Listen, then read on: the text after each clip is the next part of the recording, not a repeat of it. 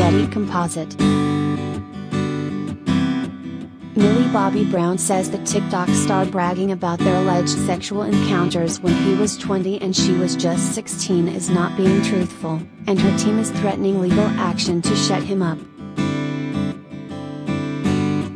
Here's the deal TikToker Hunter Echo recently alluded to having a sexual relationship with Millie, claiming she was in love with him and saying he thought her parents knew about the alleged relationship because they were all living under one roof.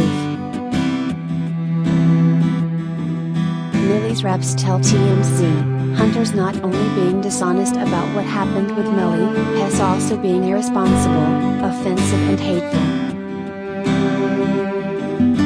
Reps for the Stranger Things star would not say specifically what they claim Hess being dishonest about, but they did say they're taking action to ensure he stops this behavior once and for all.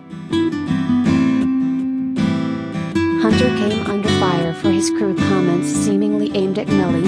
He mentioned tons of kinky sex acts, but he says he won't apologize for anything. He reached out to law enforcement sources across LA, none of which had any sort of investigations open concerning Echo. Millie is now 17 and she has recently been hanging out with Bon Jovi's 19 year old son, Jake Bon Jovi.